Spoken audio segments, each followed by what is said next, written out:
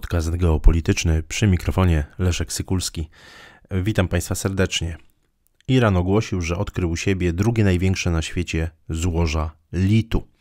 Litu, czyli niezwykle pożądanego pierwiastka, pożądanego z uwagi na swoje mm, właściwości, na wykorzystywanie go w bateriach litowo-jonowych, no, między innymi w elektronice użytkowej, ale nie tylko, także w motoryzacji, w samochodach elektrycznych. O tym złożu w Iranie wiemy stosunkowo niewiele. Wiemy, że odkrycie nastąpiło w prowincji Hamedan, no i że szacuje się, iż, te złoże, iż to złoże wynosi około 8,5 miliona ton.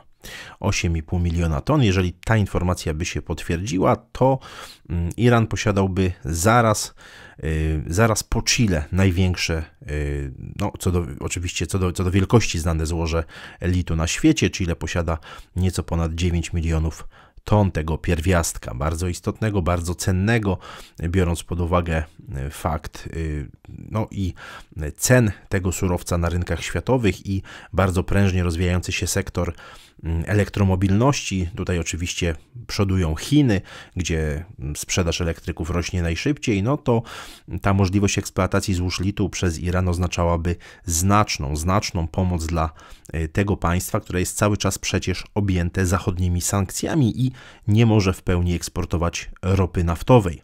Chociaż tutaj warto zauważyć, że Islamska Republika Iranu jest dziewiątym największym producentem na świecie ropy naftowej, natomiast oczywiście te sankcje robią, e, robią swoje.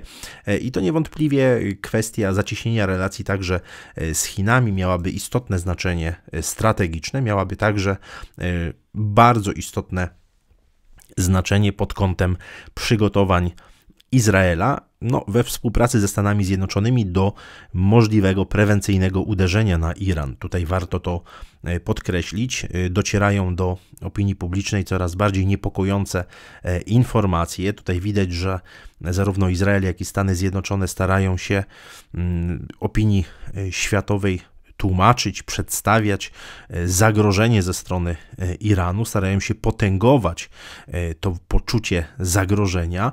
No i też warto przywołać tutaj e, raport Międzynarodowej Agencji Energii Atomowej z 28 lutego bieżącego roku, e, z którego ma wynikać, że w ostatnich miesiącach Iran e, cały czas zwiększał swoje zapasy wzbogaconego uranu.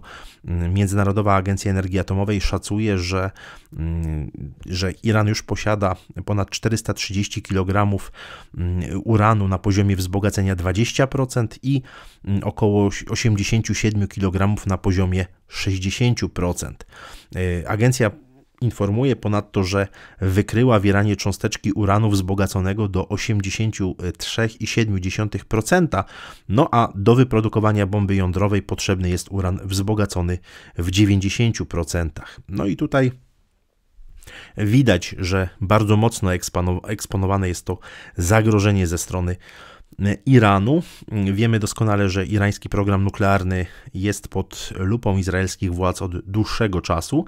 No i 22 y, lutego 2023 roku mm, jeden z y, portali izraelskiej y, izraelskiej telewizji, kanału 12, poinformował, że w, na początku tego tego roku premier Izraela Benjamin Netanyahu odbył serię pięciu tajnych spotkań, e, w trakcie których e, miano postanowić zwiększyć poziom izraelskich przygotowań i gotowości do ataku na irańskie obiekty nuklearne.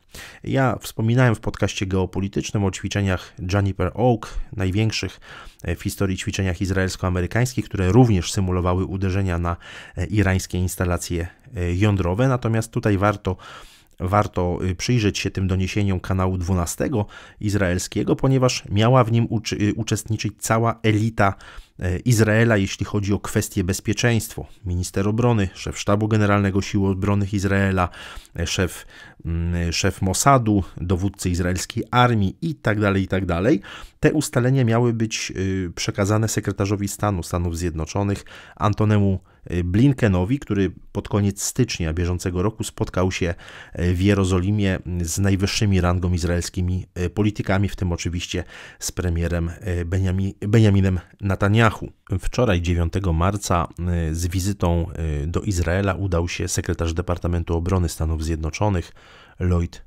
Austin. Wśród tych trzech takich najważniejszych tematów, które ma dyskutować z właśnie decydentami w Izraelu, to jest kwestia napięć na okupowanym przez, e, przez, e, przez Izrael zachodnim brzegu, kwestia wojny na Ukrainie i program nuklearny Iranu jako, jako trzeci temat, ale oczywiście nie najmniej e, istotny. No, oczywiście w ostatnim czasie mamy bardzo silne napięcie na zachodnim brzegu. Do część z Palestyny, która jest faktycznie kontrolowana przez Izrael, dochodzi tam do regularnych starć pomiędzy Palestyńczykami a żydowskimi e, osadnikami. Ostatnio było tam e, niezwykle gorąco, e, natomiast wydaje się, że w Waszyngtonie coraz mocniej rosną obawy, że ta chęć chęć unormowania uregulowania sytuacji e, na zachodnim brzegu może e, w jakimś sensie odwrócić uwagę mm, czynników decyzyjnych w Izraelu od e, wysiłków na rzecz tego, co Amerykanie nazywają przeciwdziałaniem Iranowi, czy przeciwdziałaniem irańskiemu programowi nuklearnemu. I warto tutaj zacytować agencję Reutera, która powołuje się na jednego z amerykańskich urzędników. To jest cytat. Y, zaabsorbowanie uwagi Izraela zachodnim brzegiem pomniejsza naszą zdolność skupienia się na obecnym zagrożeniu strategicznym, a mianowicie na niebezpiecznych postępach nuklearnych Iranu oraz ciągłej, zarówno regionalnej, jak i globalnej agresji. Y, koniec cytatu. No, widać tutaj bardzo wyraźnie kwestię wyeksponowania zagrożenia irańskiego jako zagrożenia strategicznego. To e, nie jest zbyt często używany zwrot, on jest używany do no, tych najważniejszych zagrożeń dla bezpieczeństwa narodowego Stanów Zjednoczonych. Widzimy tutaj e, próbę no, właściwie zrównania mm, tej, tej, tej narracji, jeśli chodzi o mm, kwestię rosyjską i kwestię irańską. Również w przypadku mm, Rosji czy w przypadku wojny na Ukrainie e, część urzędników amerykańskich mówi o zagrożeniu strategicznym e, nie tylko w skali regionalnej, ale i e, globalnej. To pokazuje jasno, jak wielką wagę przywiązuje obecnie administracja w Waszyngtonie do mm, kwestii ewentualnego ewentualnego mm, uderzenia na, na Iran, czy też no, przeciwdziałania innymi środkami, rozszerzeniem sankcji, e, tego typu kwestii. Natomiast widzimy od zeszłego roku, o czym szeroko e, mówiłem w podcaście geopolitycznym, te przygotowania militarne. Zarówno mam na myśli ćwiczenia pod kryptonimem Rydwany Ognia, jak i wspomniane już e, przeze mnie ćwiczenia Juniper Oak. Wiemy, że elity decyzyjne Izraela są bardzo mocno nastawione na rozwiązanie siłowe.